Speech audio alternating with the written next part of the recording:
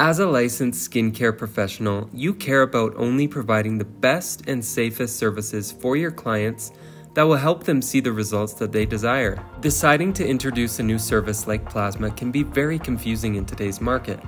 How do you know which device to choose? How do you tell the difference between an electric pen and a real plasma pen? We are about to show you some of the distinct differences to look for and how the Plaxel Plasma Pen is the absolute latest and safest true plasma technology.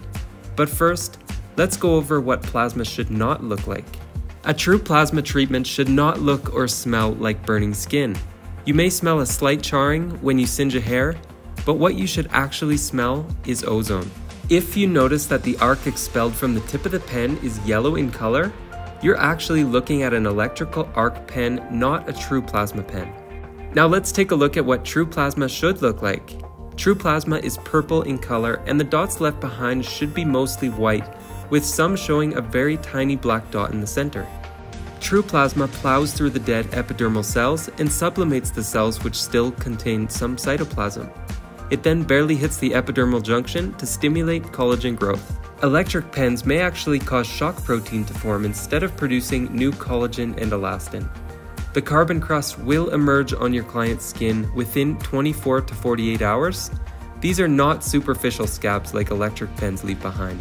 It can sometimes be very hard for new technicians to distinguish true plasma pens from electric devices, but make sure to look for white dots, not black or brown burn marks left behind, and a purple arc if you're looking for the latest true plasma technology.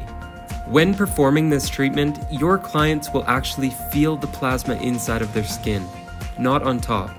With proper numbing, it is not painful and there should be no bleeding.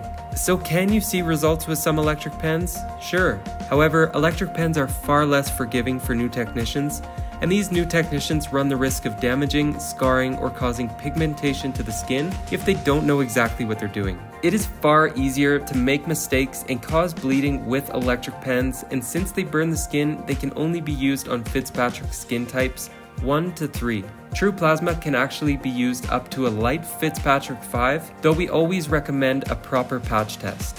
If you'd like more information regarding the Plaxel Plasma Pen and becoming a certified True Plasma provider, Visit our website www.worldplasma.com and watch our free plasma masterclass.